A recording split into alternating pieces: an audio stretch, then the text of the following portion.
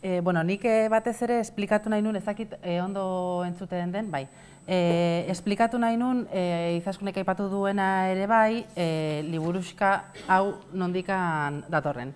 Hau da, publizitate eta komunikazio ez sexistarako kode deontologikoa eta autorregulaziokoa. Hau da, e, e, bueno, azken zenbat demora gongea bi urte edo lantzen ibili ginen eta iaz aurkeztu zena eta nire ustez begira batzordeak azken urteetan egin duen lan esanguratsuena dena. Eta lan oso importantea da nire ustez batetikan em, edadura tamaina eta hildo editorial desberdinetako edabideak jarri gintuelako berdintasunaren inguruan ez da baidan, e, gainera oso debate interesgarriak atera ziren, e, e, eta antzeman genuen ere bai behar genuela e, espazio bat ez baidatzeko, zalantzak etengabeak zirelako, zalantza berriak eta debate berriak e, agertzen direlako etengabe, eta, eta gutxien ez lortu genuelako e, paper gainean gauza batzuk adostea. Paraleloki ere bai, e, publizitate agentziek egin zuten beren prozesua, publizitate sexistaren inguruan, eta, eta uste dut lan hori ere nahiko aitzindaria dela azken urteetan nola Euskal Herrian horrelako e, hausnarketa bat egitea berdintasunaren inguruan, publizitatearen esparruan, badakigulako ere publizitatean ze zailtasun dagoen e, horrelako perspektiba bat txertatzeko. E, eta gainera prozesua oso interesgarria izan zen, baina emaitza ere oso, oso interesgarria izan da, e, dokumentu oso baliagarriak e, adostu genituelako eta lortu genituelako erredakzioetan erreferente izan beharko e, liratekeenak.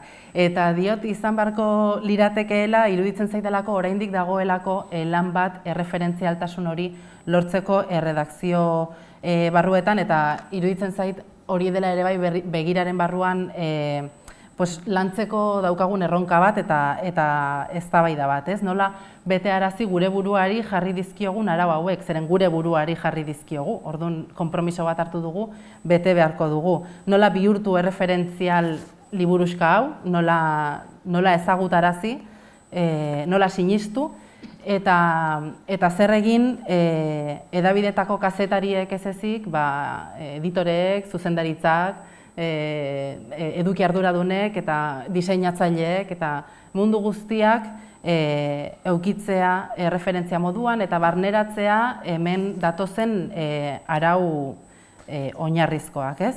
Eta gutxienez bikaintasunera iritsiko gera alako batean, baina izaskunek esan du, esan du gauzak ez direla egun batetik eh, bestera lortzen eta bikaintasunera iristen garen bitartean, gutxien gutxienez ea saiesterik daukagun e, oraindik gure inguruko edabideetan e, ikusten ditugun argitalpen e, ba, onartezinak.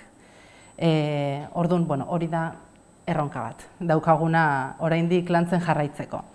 E, labur-labur esplikatuko dut zer datorren hemen, e, dazkagu, bueno, lau dokumentu dira, e, kode deontologiko bat eta hiru eta hiru dekalogo. Kode deontologikoa da dokumentu nagusia, pixka bat oinarria ezartzen duena eta e, jartzen ditu printzipio, printzipio batzuk. Berdintasun legeekiko konpromisoa, e, be, bueno, begirunea, porque berdintasun lege asko dauzkagu inguruan, e, berdintasunarekiko eta diskriminazio ezarekiko konpromisoa, indarkeriare gabeko bizitzaren aldeko konpromisoa, eta pixka bat, e, marko bat, orokorra nahi bada, e, lotura daukana edabideok daukagun ardura sozial horrekin, ez? Eta bai Albertok eta bai Izaskunek aipatu aipatu dutena gure e, eratzukizuna sozializazio prozesuetan zein pixu daukagun, ez?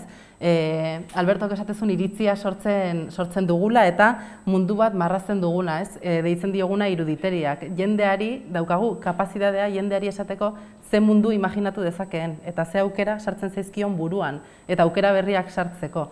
Eta ez da ardura txikia. Eta ordun gure gai honekin zabaldu ditzazkegun aukerak mundu bat dira.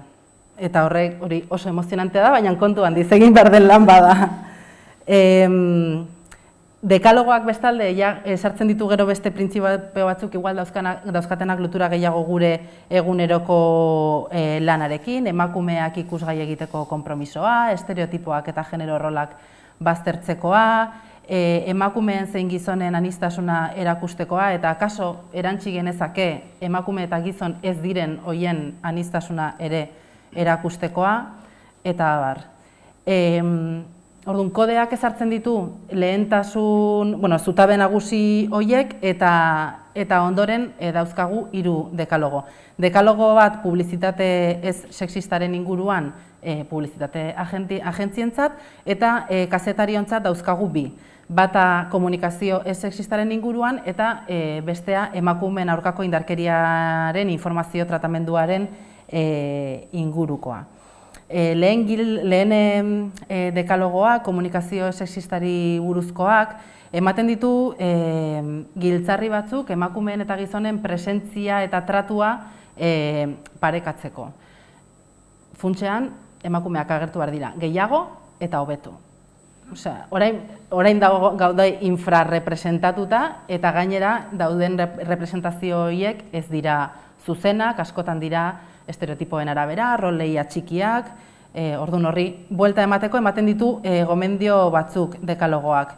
E, emakumeen protagonismoa sustatzea, gizonen maila berean erakustea, pixkate e, emakumea dituei hotxa ematea, sektore feminizatuei eta e, maskulinizatuei pisu berdina e, ematea, estereotipoak zaiestea berriro, e, gorputzarekin eta erakargarritasun fisikoarekin lotutako e, kontu horiek guztiak baztertzea, hizkuntzaren erabilera sexista baztertzea ere bai, sexualitate ugariak islatzea, eta e, baita ere e, genero ikuspegia beste diskriminazio molde batzuekin gurutzatzea, eta hori e, uste dut oso interesgarria dela e, dekalogo honetan txertatzea, zeren gainera intersekzionalitatea deitzen diogun hori ere bada feminismoaren barruan gaur egun e, ba, zapalkuntza anitzak eta zapalkuntzen arteko harremana e, ikertzeko batresna oso interesgarri bat eta orain mugimendu feminista ere bai asko lantzen ari dena.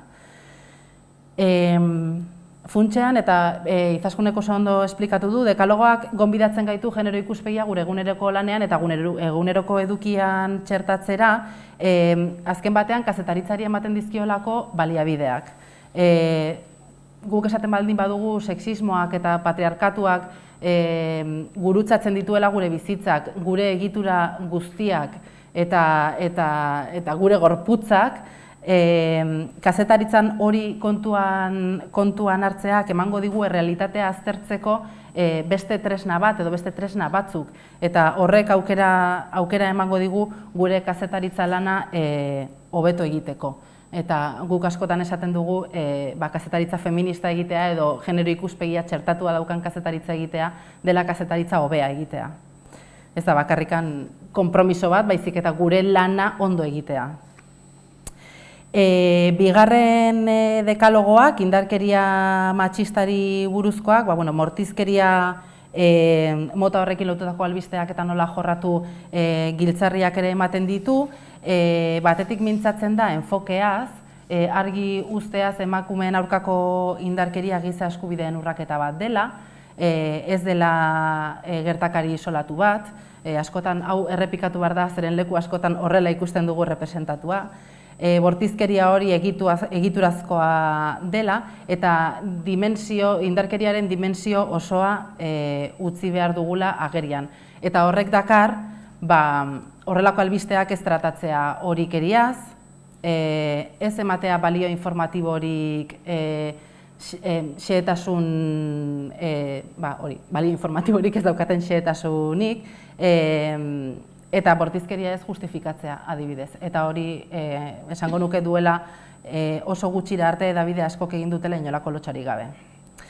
E, horretaz gain, e, dekaloak, dekalogoak ere ematen ditu e, jarraibide, jarraibide praktiko batzuk, ez? Ba, terminologiari buruz, zein terminologia erabili daiteke, zein iturritara jo beharko genukeen, edo zein iturritara jo beharko ez genukeen, e, adibidez ba, bizilagunen e, lekukotzekin eta e, zein zailtasun dauden e, bueno, e, errelato koherente batean txertatzeko.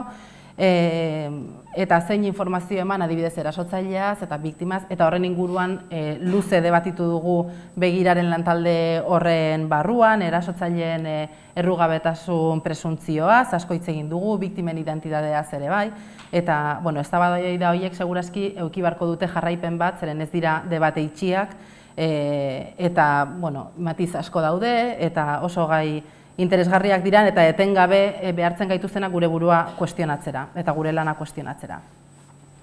E, amaitzeko, e, Martin Ugalde beka emateko ekitaldi honetan, esan nahi nuke, hola hartuko dut baimena nire buruari, e, asko poztu ninduela, e, prozesu hau amaitu genuenean, eta oso harri arro sentiarazi ninduela ikusteak berriaren estilo liburuan jadanik agertzen direla, eta segurazki egunkariaren estilo liburuan ere agertuko zirela. E, kode deontologikoan e, aipatu, ez egunkarian ez, bueno, berrian gauza asko egin ditugu oso E, baina berriaren estilo liburuan agertzen dira, kode deontologiko honetan aipatu ditudan e, puntu gehienak, ez? Ageri da indarkeria matxista giza eskubideen urraketa bat dela, ageri da biktimen duintasuna errespetatu behar dela, ageri da e, estereotipoak eta topikoak saiestu behar direla, ageri da tratu e, simetrikoa eman behar dela, e, informazio iturriak orekatu behar direla, ageri da seksuan iztasuna islatu behar dela, eta, bueno, segurazki bide luzea e, daukagu egiteko oraindik eta gainera erronka desente e, jartzen dizkiogu gure buruari azten garenean honi buruz pentsatzen, erronka asko ditugu intersekzionalidadea, lehen aipatzen nuen intersekzionalidade hori edabideetan e, lantzerakoan adibidez. Erronka handi bat da ere bai e, emakume gizon binomiotik ies egiten astea ere bai edabideetan, e, baina hausartuko nintzateke esatera ez gaudela e, leku txarrean edo gure abia puntua ez dela guztiz txarra, eta dudari gabe, e, uste dut e, arlo horretan, aitortza egin behar zaiela, duela ia hogeta zazpi urte, Euskaldunon egunkarian e, kazetaritza feministaren lehen haziak jarri zituzten kazetari aiei eta lankidei, ez bakarrik kazetariak, baizik eta lankideak, e, sarri, Albertok esan duen bezala, seguraski oso bakarrik egin zutelako, egin beharko zutelako lana edo edo erresistentzia askorekin. Haiei nik uste dut haiei zor diegula egun zapaltzen ari garen horko erredakzio hortan zapaltzen ari garen e, zoruaren sendotasuna. Beraz, e, eskerrak aitzindari haiei. Ja.